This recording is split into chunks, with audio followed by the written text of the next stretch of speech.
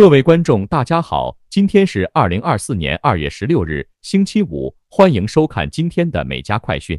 近日，一对来自加州的华裔男女因涉嫌在纽约的几家 CVS 药店实施榨干礼卡骗局而被捕。根据一份刑事起诉书，四十六岁的陈晓霞和四十四岁的同伙尤永登都来自加州蒙特利公园，他们于一月三十一日被捕。据称。官员们从被告那里收回了近四百张总值超过五万元的礼卡，同时被收缴的还包括两台盗毒器、三部手机、一台笔记本电脑以及手套、棉签、胶水、植发器、外用酒精、婴儿湿巾和手指护具。刑事起诉书称，一月初，陈和游在史丹顿岛多家 CVS 作案，盗毒礼品卡，并将它们摆回货架上，意图欺骗顾客。随后。两人在没有购买任何东西的情况下离开药房。游永登据称向警方供述，每张卡我能拿到五十分，我把它们放在礼品卡架上，我从礼品卡架上每拿一张礼卡就能获得五十分。据介绍，这种骗局的原理是，骗子会扫描礼品卡上的条形码，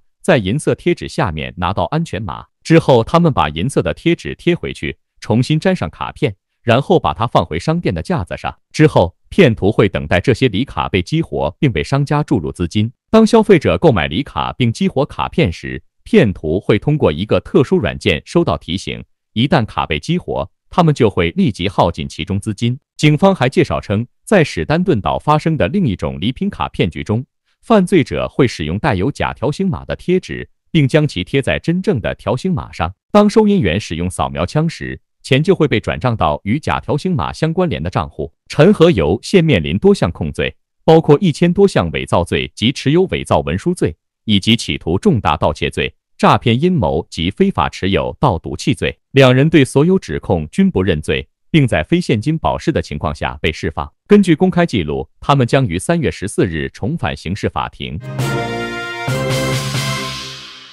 安省有很多法律。这九条，您可能在不知不觉中违反了许多省内法律，包括驾驶速度过慢、超过铲雪车、养某些狗、驾车通过人行横道、在路上骑自行车等等。其中一些法律规定，如果被定罪，将被处以一百五十元至一万元的高额罚款，甚至监禁。根据公路交通法，任何机动车不得在公路上慢速行驶，以免妨碍或阻塞交通的正常运行。但根据路面情况，为保证车辆安全行驶而必须慢速行驶的情况除外。该法规定，任何人违反本条规定即属犯罪，一经定罪，可处以一百五十元以上一千元以下的罚款。在安省高速公路上超越铲雪车是违法的。在限速为每小时八十公里或以上且有标志车道的高速公路上，不得超越与另一辆铲雪车编队行驶的铲雪车。根据公路交通法，任何人在驾驶机动车时违反此规定均属违法，罚款金额从一百五十元到一千元不等。在安大略省，饲养、出售和拥有某些狗是违法的。正如狗主责任法所述，任何人不得拥有斗牛犬、繁殖斗牛犬、通过出售、赠与或其他方式转让斗牛犬、遗弃比特斗牛犬。但将其送往由安大略省市政府或指定机构运营或代表其运营的收容所除外。允许其拥有的比特犬流浪，将比特犬进口到安省，违反狗主责任法或法规的任何规定或命令的个人均属犯罪。一经定罪，可被处以最高一万元的罚款，最长六个月的监禁或两项并罚。在安大略省，根据公路交通法的规定，不得驾驶前排或驾驶员座位上有人或财物的机动车。这可能会影响车辆的正常管理或控制。尽管吸烟是合法的，但在安省吸烟的地点还是有限制的。根据安大略无烟法，不得在禁烟场所吸烟或手持点燃的烟草、吸烟或手持点燃的大麻、使用电子香烟或消费规定的产品或物质。这些禁烟场所包括封闭的公共场所、封闭的工作场所、教育法所指的学校。私立学校的建筑物或建筑物周围的场地，共管公寓、公寓楼或大学或学院宿舍的任何室内公共区域，包括电梯、走廊、车库、派对或娱乐室、洗衣设施、大堂、运动区等。儿童保育和早期教育法案定义的儿童保育中心规定的场所或区域，或属于规定类别的场所或区域。根据公路交通法。禁止在人行横道上骑自行车。任何人不得在十字路口或由交通信号系统控制的十字路口以外的位置骑车或操作自行车穿过人行横道或人行横道内的道路。